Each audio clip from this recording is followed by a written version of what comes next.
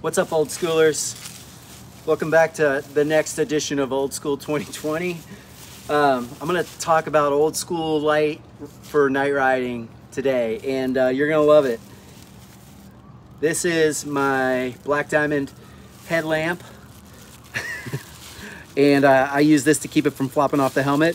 I'll show you about that in a second. But here's the real creme de la creme of lights that uh, you all are gonna love. It's called the Amazon Special, right there. This is what I've been riding with at night for a while now. And uh, these lights were, I think this one was like 17 bucks. And um, I wrapped some duct tape on there. And then I made a little pad for it. I had that taped on there, but when I had to change my batteries out, this takes, I don't know, I'll put, I'll put the, um, the link to this flashlight in the description. It's like 2200 lumens, six uh, double A batteries, screws on. This thing's bomber. You could throw it across a parking lot. It would bounce. It'd probably break, let's be honest. But nonetheless, it's cool. It's old school. Um, these are Voile straps that I have. I like bike packing, and uh, so I keep these around for lashing stuff on. So what I've done basically is um, I create a little lift right here, like that. And then I take this voile strap around. I'm gonna go front, back to front first. Around here and around here. Slip it over the top of there. That bad boy, just like that. Lash it semi-tight to start with. Take my other strap, bring it under here.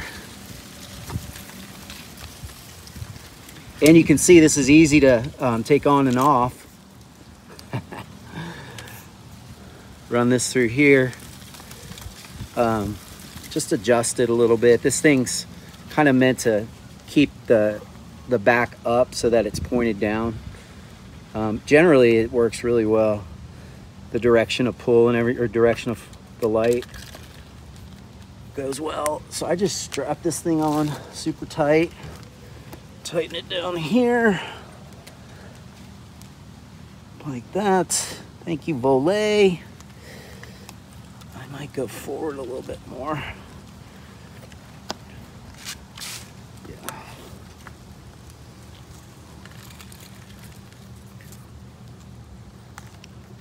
Adjust this a little bit. I mean, this is old school and simple, right? And it's cheap. I think these straps were like seven or eight bucks. Um, which, shoot, I mean, I just, to be honest, I'm gonna do a review, a box opening of the, um, the outbound light here in a couple weeks. Um, I'm pretty pumped. I mean, let's be honest, it's awesome, right? But 345 bucks for a light, it's a lot, man. I hope it's worth it. I really do. Once this is on here, it is absolutely bomber. It's not gonna shift. It's not gonna jiggle. I mean, I tuck these straps away, um, that kind of thing there, just like that. And it works killer. My button's right here. This actually will adjust the beam. It'll widen it out or narrow it down. Um, works super well and it doesn't rub. I mean, it's only, these straps are only connected to, um, to the headset and the handlebars and they turn. So there's no rubbing. Uh, it's super efficient.